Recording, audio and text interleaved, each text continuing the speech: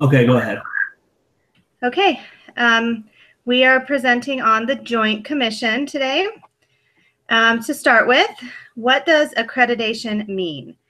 Um, accreditation is the process is a process of review that healthcare organizations participate in to demonstrate the ability to meet predetermined criteria and standards of accreditation established by a professional accrediting agency, such, um, such as the Joint Commission.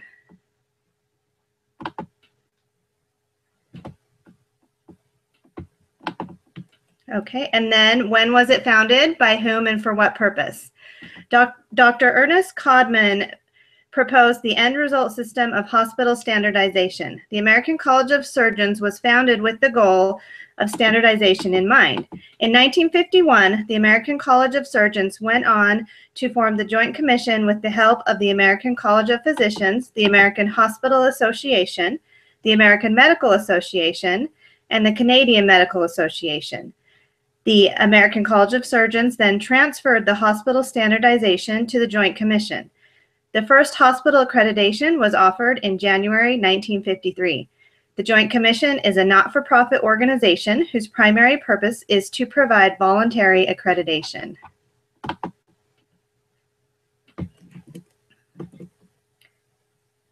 Okay, what is the significance of the word joint? A definition of the word joint is shared, held, or made by two or more people, parties, or organizations together. The Joint Commission was founded by several professional healthcare groups with the united purpose to create a system for hospital standardization. These organizations work together to help establish quality in healthcare.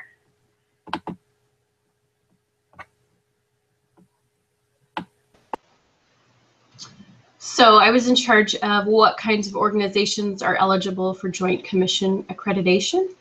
And we have on here hospitals, doctors, offices, nursing homes, office-based surgery centers, behavioral health treatment facilities, providers of home health of home care services, laboratories, and opioid treatment programs.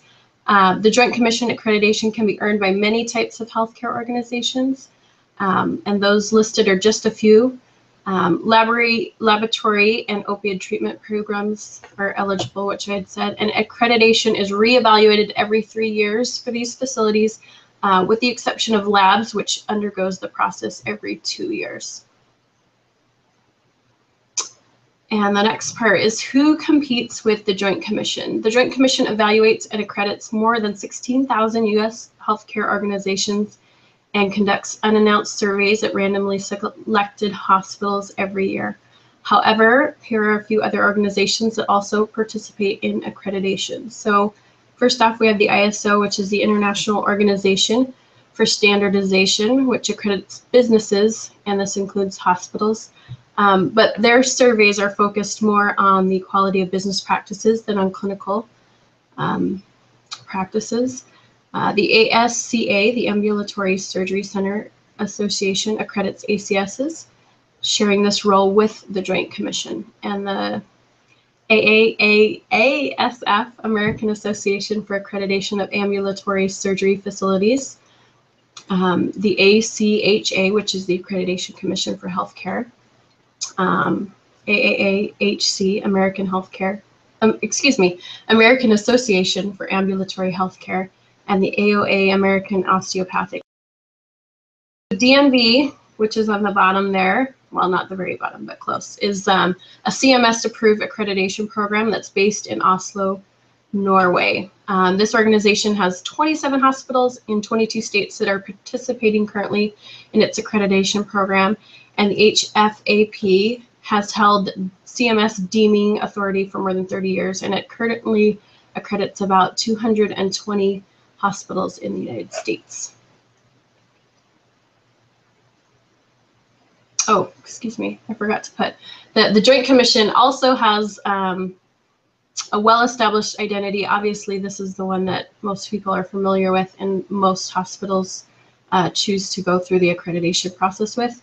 Um, and in my research, I found numbers that ranged anywhere from 77% to 91%, and I chose to highlight the 82 because that was what was found in our textbook. All right, so why would a hospital choose to be accredited by an organization other than the Joint Commission? Um, the Joint Commission survey standards are the gold standard for accreditation and as such are very stringent. Hospitals might choose to be accredited by an organization other than the JCAHO for a number of reasons, such as if the organization is less rigorous, less clinically focused, uh, or less expensive.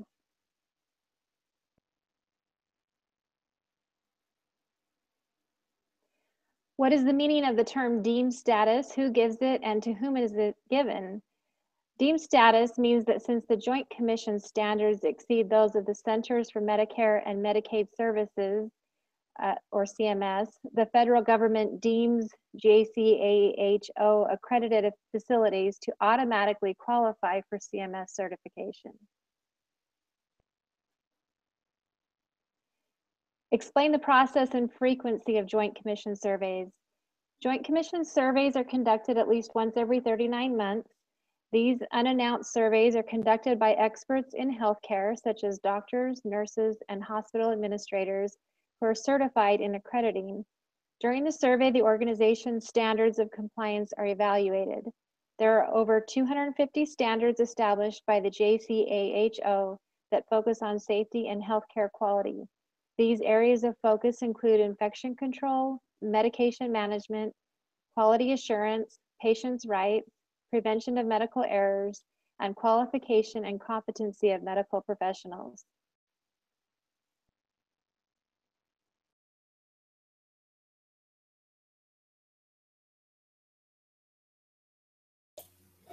Awesome. Great work. Um, very well studied. Um, I, I think commission is a really important topic for you guys. And I mean, the, the term deemed status that you just spoke about is really important for people to understand, and it might be a quiz question, hint, hint, wink, wink, coming up. So, um, really important to understand that. Um, but great work. You covered the topic well.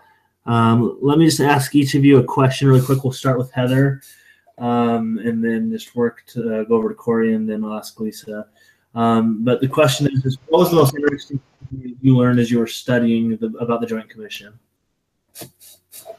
Um, the most interesting thing. Uh, there was a lot of uh, interesting things. The thing that I wasn't aware of um, was that they uh, actually accredited uh, facilities like you know drug rehab facilities and psychiatric hospitals and things like that.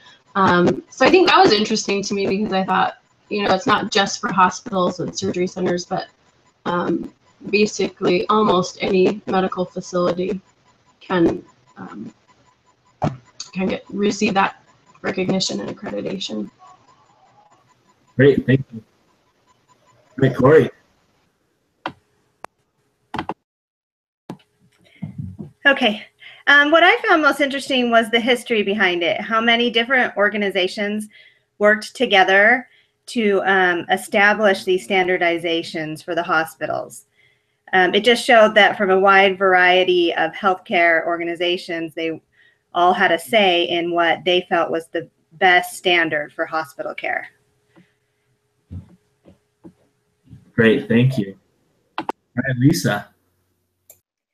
Um, I everything was interesting to me on this because I did, I had heard you know about the Joint Commission, but I didn't really know a whole lot about what it was. Um, so just um, it was interesting to learn about the different uh, categories that they go over when they do the surveys at the hospitals in order for them to be able to be accredited and it it sounds like it's a very thorough uh, thing that they do that made me have a lot of confidence in the hospitals. Um, like I know there's some local hospitals here that are joint, you know, commission accredited, and it just gives you a little more confidence, you know, going to those hospitals knowing that they have gone through these points and made sure that they're on, you know, their standards are high in those areas. Great. Yeah, no, I agree. I mean, going to a hospital that we know is Joint Commission are accredited, they have that gold standard, right? I mean, it's a super strenuous process. Working at a hospital um, that's Joint Commission certified or accredited, they it's it's funny that not it's not funny, but it's it's interesting to see how intense preparations are for it. Like you mentioned, it takes it needs to the certification, the the resurvey needs to occur within 39 months, and um, I mean, they, there's whole departments that are set up in these hospitals to make sure that the department, the hospital is ready for when that survey comes around because it's so important.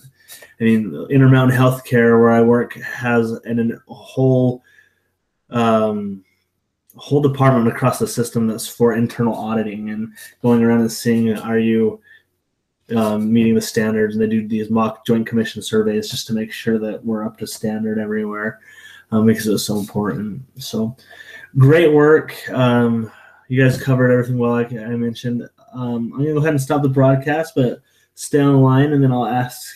Uh, I'll just ask you guys a couple questions.